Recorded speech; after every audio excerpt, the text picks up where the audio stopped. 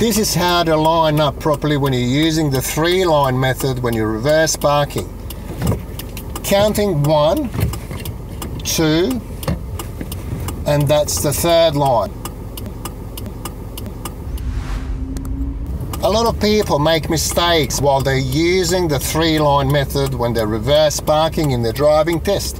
A lot of times they would stop around there, but the mirror has never got to the third line. So they would claim that they see the line lining up with the mirror from their point of view. So if they are you know, seated in the driver's seat, obviously. If they see the mirror lining up with the line, that's wrong, okay? You have to get to the actual line, okay?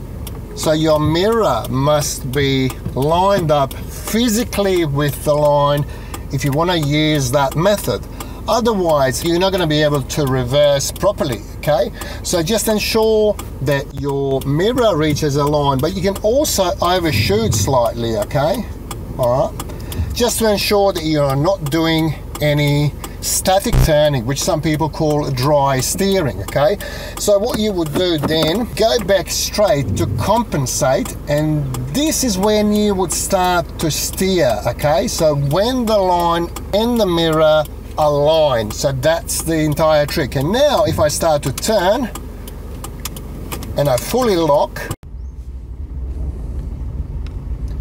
And of course, if I check my rear view in the little bubble mirror, it'll show me exactly where I am. Also, stretch up, don't sink into the seat, your posture must be right.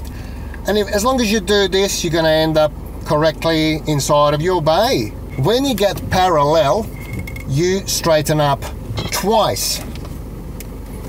And that's it. You know, you don't do anything more.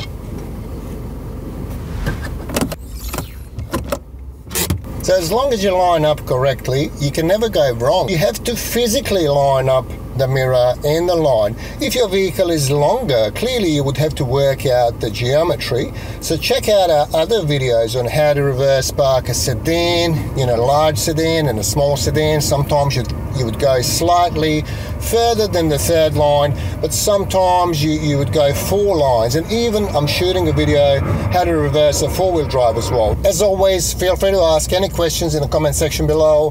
Thanks for watching, I'll catch you next time.